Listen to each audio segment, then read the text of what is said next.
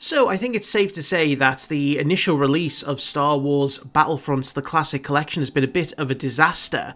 Now I personally have not played the game yet. I wasn't really willing to fork out £35 on a game that I already have even if it is a remastered version with an updated multiplayer, because I kind of had a feeling that this might happen. Unfortunately, it's a very common theme nowadays where games that you look forward to are released broken or incomplete, or it's just not what you expect. And this definitely feels like the case with Battlefront the Classic Collection. Um, it's supposed to be a remastering of the you know great games from the 2000s uh, games that i spent many hours on had a great multiplayer campaign had a great single player campaign the gameplay was really smooth it just felt great in you know all elements and so when this was released today the 14th of march people have flocked to the reviews to complain about all the different issues a lot of them seem to be around the multiplayer a lot of them seem to be around the fact that there are only three PC servers that hold a maximum of 64 players each.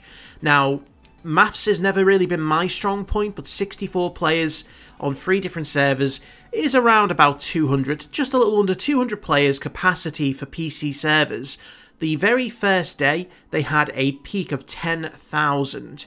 Now, again, maths not being my strong point, I'm pretty certain that 200 does not go into 10,000. And the problems aren't just related to the PC side. On the console, it appears as though the promised crossplay is not actually true crossplay. Yes, players can play across different versions of their consoles, so PlayStation 4 players could play with PlayStation 5, but PlayStation players cannot play with Xbox players, which, again, in a game that very much will depend on player numbers is going to cause problems further down the line because people will eventually stop playing the game. If people stop playing the game in these big lobbies, then people will struggle to find a game, and the players who do stick around will eventually become discouraged and then will stop playing the game. You see it so many times with these kind of large scale FPS shooters because it's a domino effect. As soon as players can't find games, they stop playing, which means other players can't find games, then they stop playing.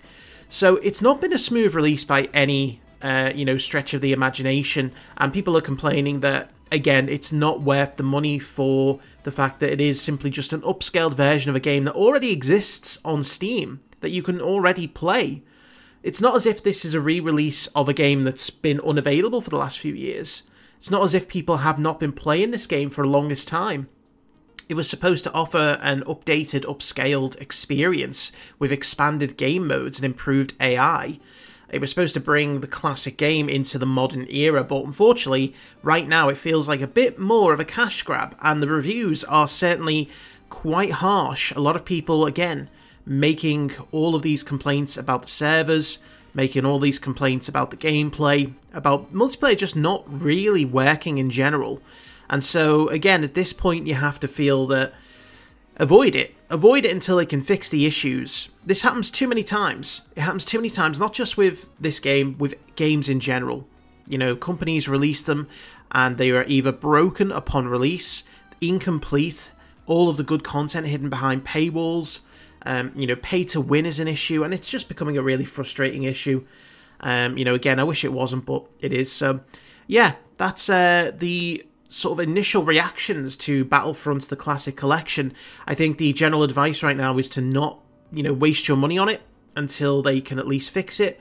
Um, so keep an eye out onto, you know, different sources, you know, different reviewers um, until they do manage to fix it. You know, use the review sites, use Steam reviews uh, if you are thinking about purchasing the game. Um, I'm sure they will fix it eventually. It's just, it is concerning when you think of the lack of preparedness beforehand. Um, so again, it does kind of make me feel like they just wants to make a quick buck with a game that already existed. It's not that expensive to upscale all graphics, uh, but they've clearly not invested in server capacity. And uh, you know, again, whether they will or not is a question that we will have to see. So anyway, thanks for watching. I'll uh, I'll keep an eye on the situation, and I will speak to you in a little bit.